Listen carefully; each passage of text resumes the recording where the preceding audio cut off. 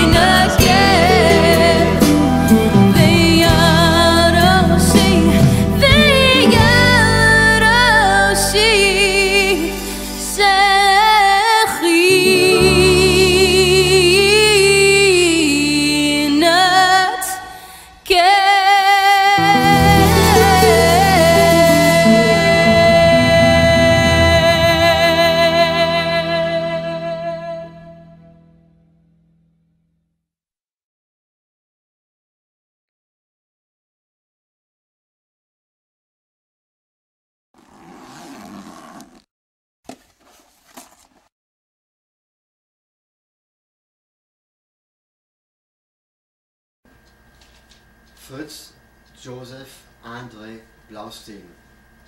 I, I was born in uh, Berlin, Germany. And um, where did you grow up? Paris, France. Paris, France. I grew up Paris, France. In my opinion, Paris is the most beautiful, beautiful city in the world. My father's name was Kurt.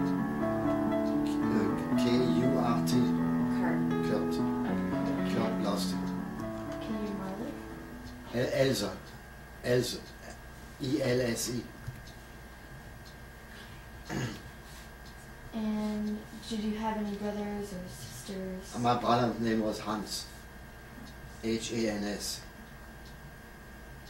Fritz was not listed, so then the French police told me to go, you know, hide myself wherever I can. So I had to leave my parents and my brother.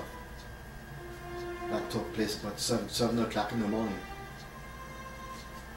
In Paris. The address was 48 48 Rue de Moscow. But then they came back two weeks later, they arrested me. They was looking for me. And was they remembered I, I was still alive. And the uh, concierge lady from the building called me. Called me and, and, and took me in. And in fact, she had an orange, I remember. I think it would be today, you know, she swing the orange. Andre, you would like to have an orange or something like that. It sad even, even to talk about it. She swing the orange. She said, Andre, come, have, have an orange. Come in, have an orange. Said, thank you, Madame Bertrand. Thank you. I, I lived with them for, for through the through the war. It's a concierge. I lived with them. They took me in for, two and a half years until the war ended. The Nazis did find out that I was still still living. So they came after me and, and they they, uh, they came after. And he asked me, don't you speak German? I said, no, I don't want to speak German because he may speak German to somebody and, and I, I, you know, for me to overhear what he said. So and finally he turned around with the car and then he, he took me back. and the concierge woman, you know, the janitor woman was right in the hallway there sweeping your floor or whatever she did. And she said, Andre, Andre, she couldn't believe to see, see me coming back, you know. She was surprised. And I came to the United States, yeah, 1949, that was after the war. But then I got married in 54.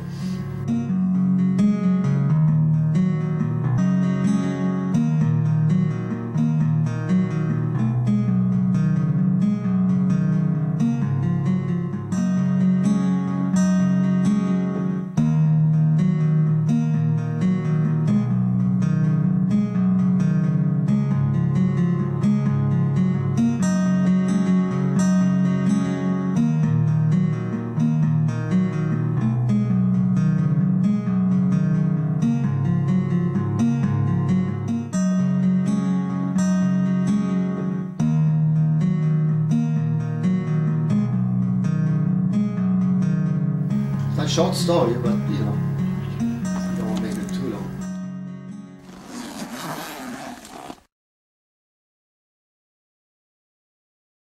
So many Jewish prayers have been answered for the return to Zion, the ingathering of exiles, the restoration of Jewish sovereignty, and the rebuilding of the Jewish home. What so many generations dreamt of more in hope than expectation, we have seen in our time. And yes, there were the centuries of tears, of hopes not met, dreams not realized, lives lost. Yet the Jewish people did survive. God's promise was fulfilled. The prayers of the ages have come true. So let's end this part of the story with joy, with those ancient words in which our ancestors expressed their faith that God was with them. Ki malachav yitzav elach, he will command his angels about you to guard you in all your ways. May the Lord guard your going out and your return, now and for all time.